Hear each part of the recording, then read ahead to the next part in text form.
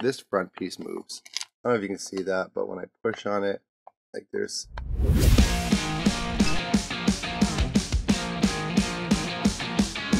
Welcome to episode 134 of Puzzle Time. In this episode, we are talking about Beard's Woodshop Co. And that's a guy named Tyler William. William? William.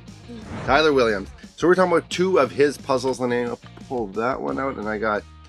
So this is Idiot Box. It's a level 9 on the Puzzle Master difficulty rating scale. And it is completely, more or less completely made out of wood. I know there's some like metal parts inside of here. But uh, yeah, the objective is to find the two antenna. So there's two antenna that'll go up top here in those holes. And uh, yeah, it's, uh, yeah, like I said, level 9. And uh, Beard's Woodshop Co. also has done another puzzle called Boombox that we have. Um, yeah, but I think that's the only other puzzle that we have from Beard's Woodshop, though. Linnea, what is your puzzle? This one is Lock In Pin. It's a level 8, also designed by Tyler Williams. Um, the objective to this one is to remove the coin that's inside here. So free the coin. Yeah. I know, yeah, there's a couple metal parts. There's a coin inside here, but it's mostly made out of wood as well. Um, there's a couple things you can see. There's a tool here on this side. You can see different things on the outside of the box, some holes on the back. Yeah.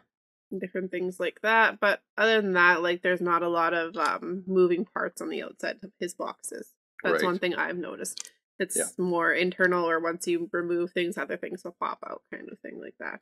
Yeah, on mine there's a bunch of different stuff. Like you can see that there's like some holes down here that have like some wood pieces in them. Maybe look like teeth or something that moves. I, I think, and then there's another. There's a spot here that maybe looks like something that moves. Oh, and I can push on it a little bit. And there's some stuff on the side here that looks like it moves. So I mean, obviously this is supposed to look like a TV. An idiot box is an old name for a TV, and this is an old school TV. Uh, this would be where you like Mhm. change channels and stuff. So I like the design of this. I don't think yours is really supposed to look like anything, hey? No, I don't think so. Yeah. But his his puzzles are a little bit higher priced and a little bit higher value, but it's Yeah. because there's so much craftsmanship. Like he makes all these puzzles by himself, no help. I'm pretty sure. Yeah, they're all handmade yeah, wood puzzles. they're nice. Good quality wood. here, Yeah, I so, think we're gonna play around with it. We'll see how far we get. So, yeah. um, let's just. You got anything else on yours? Do you know? Um, I can show you the first move Let's if see you guys want to see it. So it's a bang move. You just got to do that, and Oh, out drops that- the pin. so it's magnetically held in there. Yeah. Do you want to keep trying to do more on yours? So there is little holes on the back part here. I'm guessing that has something to do with this pin here. can you can you move them? Um. Yeah, you, it looks like you can. So you can move them. They're kind of uh, held by a magnet inside there, Oh, really? so you can hear the click. And Oh, so okay. uh, I watched the solution months ago. I don't remember all of it. I remember certain parts, but there's like I just remember that these click in, and they're to do with a lot of the movement is going to be involved moving these in the correct orientation. Huh. And then eventually this will open up on the front here. So this one, I mean, I feel like this front part's gonna come off, but like, I don't want. It, it almost feels like maybe it's magnetic too. I don't know. Um, you know, this back piece even moves a bit too. Do you know what the first move on yours? Um, I imagine it's gonna be in here because when I pushed on this it's before, it like pushed out So keep pushing the parts there. Oh, at yeah, we'll use the tool now to push out. Oh, like use this. Oh, yeah, now you should be able to use that. Yeah, there you go. Oh, and then they both come out. Yeah. Interesting. So there's magnets on the bottom of both pieces, and they are oppositely shaped, and the magnets Yeah. are attracted each other. So I'm guessing the magnets, if you can use them somewhere on the outside of the box. Yeah, well, I mean, That's my instantly I'm seeing like this could go in here maybe because you got this point, and there's like inside there. I could use this point to m- manipulate. But there's probably like yeah, if you move the magnets on the outside of the box, you probably find different Yeah, things that'll there's magnetize to it. Probably. Let's see. You can feel those So magnets. it's one of the came out first thing you like to. I always like to see when you find a magnet. Yeah, run a magnet. there's going to over be top. something. I, I feel like the last move is going to be this thing coming off, maybe, and then the antennas are in there, and you put them in, right? But if the antennas are in the back part here, is there something on the side we can remove? Like maybe this back part will come off, and the antennas will come out, and then the last part is to open up the front, right? Do you think, okay, no, these probably, Connect together. Yeah, they connect together, so that's- that way. no, no, but the, that's why, that's how they pack in here. I think that's what the cutout's for, right? Because they Yeah. connect. But Like you could that, maybe use right that for there. something else too, right? right? But that's yeah, that's that's cool. I like that. Um, I have the feeling that the Daytona is going to be like metal like this. I Yeah, I think so. I, I think so tin. too. That's that'd be my thought.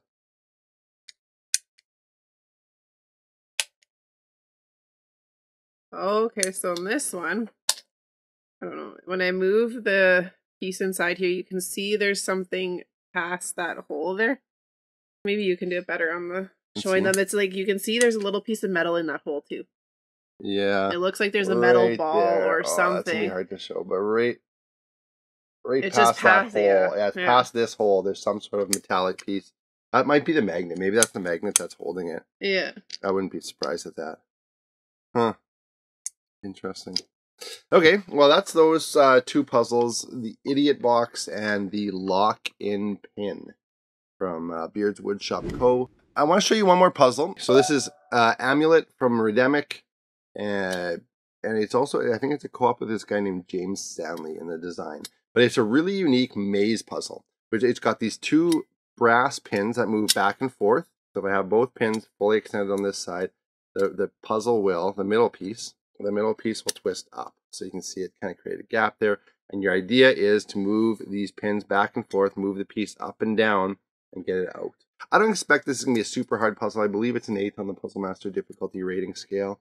But uh, something Well, there's not a lot of internal, right? So it's all you can see everything. So if it was a little Yeah. bit more internal, then it would You- be it a little be harder, yeah. difficulty. But uh, I like the, the just the, the tactileness of this too. Like this puck thing is this metal piece is actually really heavy.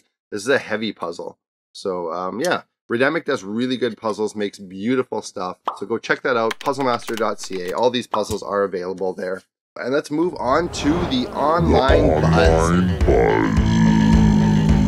Okay, online buzz. We are talking about. Are you doing this one? I think Yeah. you're talking about this. Yeah. So we got sent a puzzle from a company called Quiz Brix. And um, yeah, he we unfortunately won't be able to carry his Lego puzzles here as we already have another company that we have of Lego puzzles, but he was nice enough to send it.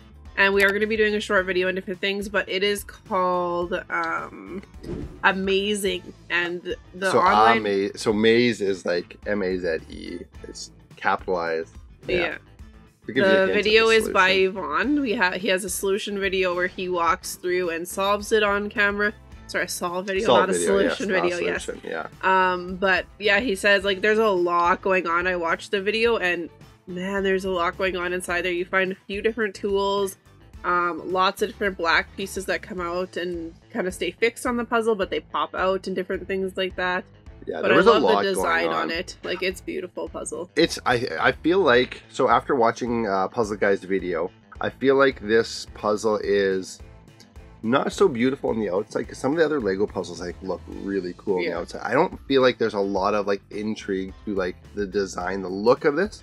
This puzzle will blow you away though with what they did. Um, there Yeah. is some wonderful, wonderful mechanisms and a lot going on. Like there's a lot packed into this puzzle. And I actually was Yeah. very very surprised at that so i actually like i like that aspect of it where it surprises you with how good it is And he worked well with the colors, like how the colors pop out and the thing, making Yeah. sure that everything that pops out for the most part is black. Is There's black, a couple yeah. white pieces that pop out. This is a good puzzle i love it and thank you to Quiz Brix for sending us And that if you want to see more about it, I'm going to be doing more videos about it on our page, so definitely Yeah. come check them out. there'll be some shorts and things or tiktok whatever it'll be it'll Yeah. be throughout our, our channel our pages so uh yeah let's move on to the brain teaser Linnea. you want to talk about this one too Sure. So these are brain teaser puzzles that I have made and designed on for Facebook. yes We have paper books, we have PDF booklets of them. Um, we've done a lot of different things with these puzzles. And so this one is called Tricky Triangles. Mhm. So I came up with a puzzle called Scramble Squares, where it was just a three by three square with different cubes in it, and you got to figure out how to get the puzzle pieces into the square. This one is with triangles, so I did kind of a Christmas theme with yeah this one. i mean it's christmas time Yeah, so, so it's a Christmas sense. tree. You'll see it on screen here. Um, some really crazy pieces that'll go into this tree, and they'll all fit together. Um, there's six different options, and you have to want, pick the one that the colors match. Yeah. These are great. Go to our Facebook page if you like them. There's a lot of different ones. I especially like the 3D eye ones, Yeah. but uh, there's lots of different stuff. So go to Facebook, find more stuff like that, and uh, you also do a Yeah. bunch of like different videos on the Insta there and stuff. With this one too, sometimes it's fun to do it by the eye, but if you want to do it by yourself, you can get the PDF booklet or we can send you the physical puzzle on the computer and then you can figure out how to like drag the pieces on top and figure out how Yeah. they'll sit on all together. Hmm. I think that's a fun way to do it too if you want to physically do the puzzle instead Yeah. of or you can get the paper and cut it up, print it and cut it out and do it all in the, is true. Yeah, that'd be fun as actually. well. So Yeah. So next, uh, we're going to talk about a YouTube review and solution, and it seems like we're going a lot of Puzzle Guy today because he just has some really good stuff. So uh, Ivan, the Puzzle Guy, does some reviews on our YouTube channel, reviews and solutions, and he does a review and solution of this puzzle called One Flower. It's from Pelikan, and uh, it's designed by Austin uh, Osano- uh, Asanori Yamamoto. Yeah, I always Yeah. forget how to say his name. Osanori, I don't know. Osanori, yeah. I like his yeah. stuff. I really like his stuff. And this is a different puzzle from some of the other stuff he does. I find he does more like the packing puzzles where you're packing them into a box. This is very different and uh, surprisingly hard. Go watch the review and Yeah. solution. This is a surprisingly sneaky puzzle and one that has a wonderfully uh, great aha moment. So go check it out. The review we'll put on here. The solution is also on our page if you do want to see how it solves. Uh, but go check that out. That is One Flower from Pelikan. Hello and welcome to Puzzle Masters product review. Today we will be taking a closer look at One Flower puzzle. This puzzle was designed by Osanori Yamamoto from Japan and made by Pelikan in Czech Republic. The One Flower puzzle was made using two different types of wood, Padauk and Garapa.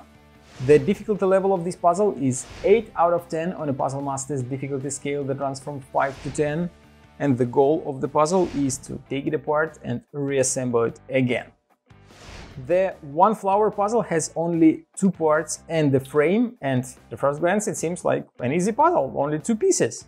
But as soon as you start solving it, you will find that you can do rotations, you can do some moves of the pieces, but then it seems impossible to remove them. Since that's all what you can do with this piece on top, you can move this piece and rotate it as well, but how to remove them, that will be quite a challenge to find this solution and you will spend at least 15 30 maybe even 40 50 minutes to before you will find that you have to think a little bit different in order to solve this puzzle so it's a quite an interesting and a tricky puzzle to solve i like puzzles where there are as uh, less as possible uh, parts that always make these puzzles more interesting since how can be difficult to remove just two parts from the frame but it is really difficult and it will take you quite some time before you will find the solution. And last but not least is our Puzzle Master contest. And yeah, what do we? Uh, what's our what's our draw for this week? This So time? we have five puzzles that are included in this: a couple metal puzzles, a wood puzzle, a wire, and a cube. twisty puzzle, yeah. Oh, So- technically not a. It's not a cube. It's, yeah, twi- it's a twisty. twisty puzzle, right? So Pyraminx, it's one of the most popular twisty puzzles out there. If you know twisty puzzles and haven't heard of Pyraminx, you're looking in the wrong places. Yeah. So that's a really popular one. Um, there's also Pendulum, which is a wire one. It's a le- Yeah. difficulty level nine. Um, it has a little bit of like wood and stuff mixed in there, but the goal is basically to remove the diamond shape. Yeah. Wild Dog, very classic wood puzzle from Puzzle Master. And then the horseshoe puzzle. Um, That's one out there. Everybody knows it too. Like, yeah, I've had so many people come in the shop. Do you have the one from back in the day where you Yeah. have to remove like the horseshoes and you Yeah, I mean, this is- ring and like how how like uh, guys on ranches and farms used to make their own puzzles. A, a ring Yeah. and like two horseshoes and weld them yeah. together. So this is it. very much p- plays homage to that. a lot of classic puzzles in this Yeah. set, and then Cast Cake. It's one of my favorite Hanayama ones. I love it. Yeah, I've solved it. It looks kind of like Pac-Man to me if you look at the Pac- back. I yeah. feel like they missed missed the thing there, but maybe that's a branding problem. But uh, yeah, those five puzzles are in the draw for uh, this month. This contest will be running till December 31st, 2022. The link is in the description, and you do get potentially $78 worth of puzzles right here, shipped to you for free. Um, Yeah, make Yeah. sure you enter by the 31st. If you don't enter by the 31st, you won't be in. Yeah. So So before you go out for New Year's, enter the contest, uh, and you can win one of these five puzzles or all of these five puzzles. yeah, So- and if you like entering contests, check out our um, our website. If you go scroll all the way to the bottom, there's an enter contest um, Mhm. tab. We constantly have contests going there. You can come check us out in store. We have different contests going around. lots of different stuff you can check out and stuff like Yeah. that from month to month. So Yeah, absolutely. Browse our website, puzzlemaster.ca. There is a ton of puzzles. We are the world's largest online retailer of puzzles. You won't find it uh, if you go, can't find it with us. You probably won't find it elsewhere. So, uh, yeah, check it out. Thank you for watching. This is episode 134 of Puzzle Time, and we will see you next time.